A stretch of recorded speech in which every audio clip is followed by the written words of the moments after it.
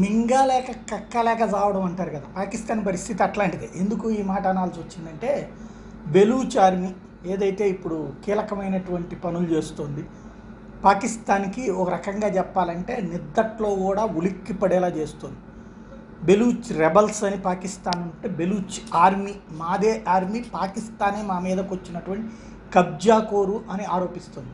అట్లాంటి బెలూచ్ ఆర్మీ ఏడాది నివేదికలు ఇప్పుడు ఎట్లయితే ఆర్మీ వాళ్ళు ప్రతి ఏడాది తాము చేసినటువంటి యాక్టివిటీస్ గురించి రిపోర్ట్ ఇస్తారు పోలీసులు ఒక ఏడాది పాటు తాము చేసినటువంటి కార్యకలాపాల గురించి రిపోర్ట్ ఇస్తారో అట్లాంటి రిపోర్ట్ బెలూచ్ ఆర్మీ ఇచ్చింది. ఇది ఇందులో స్పెషల్ ఏంటంటే పాక్ ఆర్మీ మీద అరవై నాలుగు దాడులు చేశారట రెండు వేల ఇరవైలో.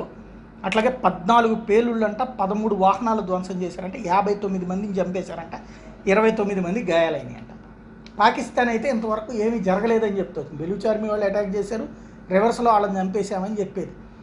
ఈవెన్ బెలూచ్ ఆర్మీ మీద అన్ని చేసాం ఇన్ని చేసాం వాళ్ళని ఎంతమందిని చంపేశామని చెప్తూ ఉంటుంది అది. అలాంటిది పాకిస్తాన్ సైన్యం ఎంతమంది పరు ఇప్పుడు దీన్ని పాకిస్తాన్ సైన్యం ధృవీకరిస్తేనేమో దాని పరుగు పోతుంది ధృవీకరించకపోతేనేమో సైన్యం వీరమరణం చెందినప్పుడు కూడా బయట పెట్టనటువంటి నీచ దేశాల జాబితాలోకి చేరుతుంది. ఎందుకంటే ఇప్పుడు మన దేశంలో సైన్యం కొన్నిసార్లు తీవ్రవాదుల దాడిలో ప్రాణాలు కోల్పోయిన సంఘటనలు ఉన్నాయి. నక్సల్స్ దాడిలో ప్రాణాలు కోల్పోయిన సంఘటనలు ఉన్నాయి. అట్లాగే వాతావరణ కారణంగా మరణాలు సంభవించినవి ఉన్నాయి. వాటిని అధికారికంగా ప్రకటిస్తాం. వాళ్ళకి సంతాపం ప్రకటించడంతో పాటుగా కుటుంబాన్ని ఆదుకోవడంతో పాటు వాళ్ళని వీరమరణం కిందనే లెక్కిస్తాం.